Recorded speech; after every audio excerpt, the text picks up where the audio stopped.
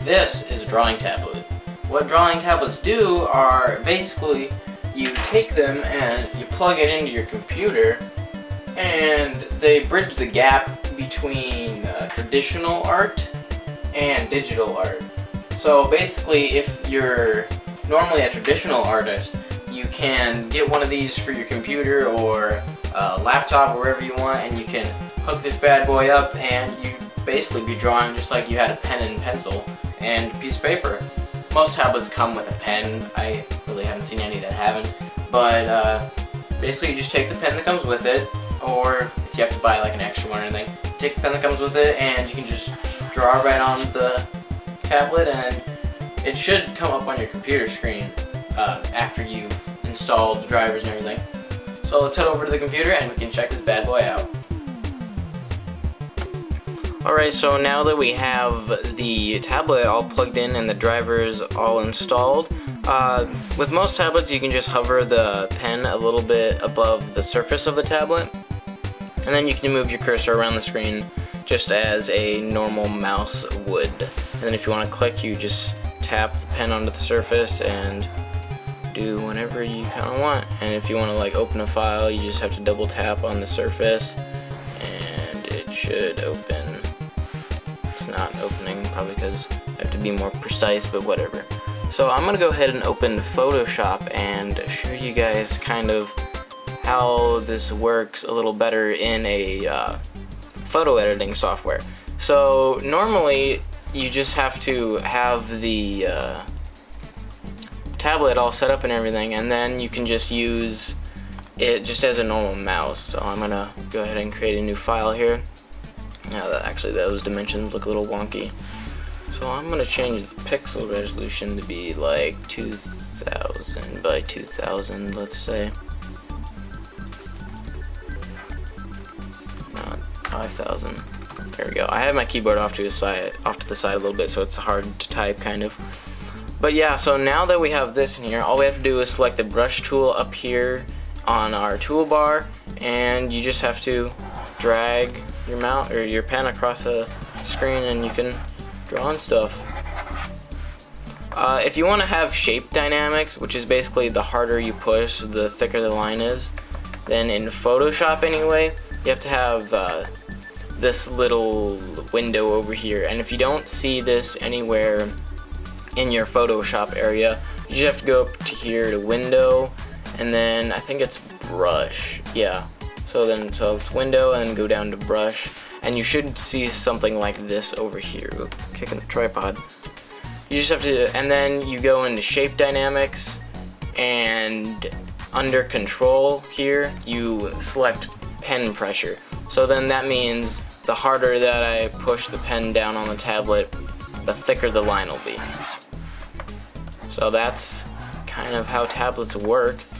Um, in a lot of cases you will have buttons like on the pen and I have a bunch over here on the side and technically I do have virtual buttons up here on the top of my tablet but I don't really use those that much because they do different things that I'm not familiar with but yeah um, a lot of these buttons up here are pretty useful like this top one is undo uh, this one I think switches to the eraser. This one's pen. Zoom in and zoom out. This one can change the size of your pen. So you can make it bigger or smaller, however you want to do it. And then undo. And uh, this one, this tool on the very bottom, this last button, you can, well you can't really see it very well since there's nothing on the paper, but you can grab it and drag it around. So that's normally used with the spacebar but yeah, so a couple of cons for this specific tablet. By the way, I'm using a Huion, I don't know the model, Derby. Okay, it actually doesn't say on the box, but it does say right here on the back. I'm using a Huion H610 Pro. So that is the tablet that I'm using. I feel like it's pretty good for a beginners, just because it's, it's somewhat decent and it's only like $80 so I would get this specific I would get this tablet if you are looking to trying to jump into graphics design and digital art, but you don't want to spend like $500 on a Wacom tablet or whatever. So yeah, uh, some cons to this tablet is occasionally when I uh, go to the, do the undo button, uh, it'll actually stay. Let me see if I can get it. Like, it's, it'll be like it. I'm still holding the button, but I'm actually not. I think I just got it there, but but anyway, I'm sure you get the point. Like if I undo, then it'll it won't keep undoing, but it'll be like I'm just holding the button, and then I get that icon. Um, that kind of happens too with the grab tool, although these are minor annoyances and they're not really a big deal because all you have to do is press the button again and it gets rid of it. So yeah, um, I'd say some pros are these buttons up here are actually really nice to have, even though I don't use them much. If you do want to assign them to whatever you want, then you can do that.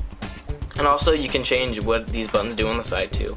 All you have to do is go into the program that the tablet comes with and you're pretty much good to go. You can change it to whatever you want it to do. But yeah. Uh, another con is that sometimes uh, with this uh, pen thing here, the part that goes in sometimes gets, it like squeaks kind of when you're doing it at a shallow angle. Although I've kind of gotten used to it and I've started to do it more like more downwards because that's how they want you to do it but a lot of or I'm more naturally like to write like this just because that's how I use my pen and pencil when I was a child.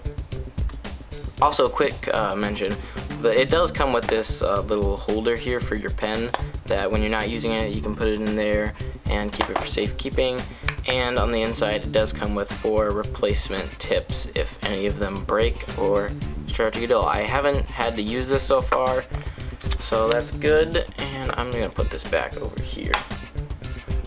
But yeah, I think that's pretty much it. Again, if you want to get a tablet uh, and you're starting out, I would recommend this one. Uh, for me, it's been pretty good. You can check out some of my other videos that I've done with it.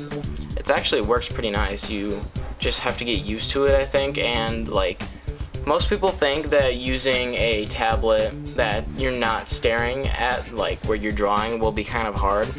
But after you've used it for like a week or two, it, you, after you've used it for like a week or two, it really shouldn't be super hard. You should get used to it and I'd say the most it would take for you to get used to it is like maybe a month. And for some people who are really good, maybe like a couple days of use. And yeah, so I don't honestly think it's that hard uh, to, you know, do intricate drawings when your hand is down here and you're looking up there. So I could make a star. That was a bad star. That's also a bad star. There we go. So that's a star. Do a circle. My circles are actually really bad. I need to work on them. You know, triangle. And you can write just fine. Just like you would on normal paper.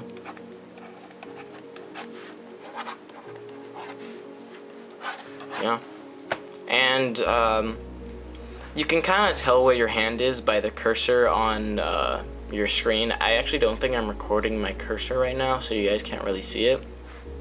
But like there's just a little circle running around wherever my pen goes, and when I push down on it, I can see where the marks are. So yeah guys, that has pretty, I think that's pretty much all I wanted to say for this video. One thing that I totally forgot to mention that a lot of you were probably really confused by is what the heck is on my hand? Now, pretty much what this is, is it's a really, really super ghetto uh, smudge guard.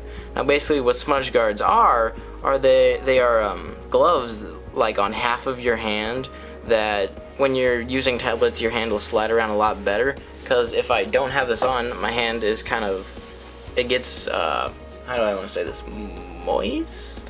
I don't know. But it like starts, it's harder to move because like your hand is kind of damp or I don't know what to call it. But if you have your smudge guard on, then you can move your hand around a lot better because there's a layer of cloth in between you and your tablet. And you want it to be in half so you can still like use your fingers on your pen and everything and move around. Now this is just super ghetto DIY smudge guard because I just took a random glove and cut it in half and slapped it on my hand. It is getting a little bit frayed, so I probably should get a professional one, but meh, I don't really feel like it because this is working pretty much just fine for me so far. So yeah, um, again, if you want to check out some of the videos that I've done with my tablet, uh, there will be an annotation somewhere in the video, and if you're on mobile, there'll be a little cards. So yeah, that's pretty much it, and I guess I will see you guys later. If you have any uh, questions or comments or concerns, definitely make sure to leave them in the comment section below, and I will answer as many as I can. So yeah, yeah guys, thanks for watching this video, and I will see you guys next time.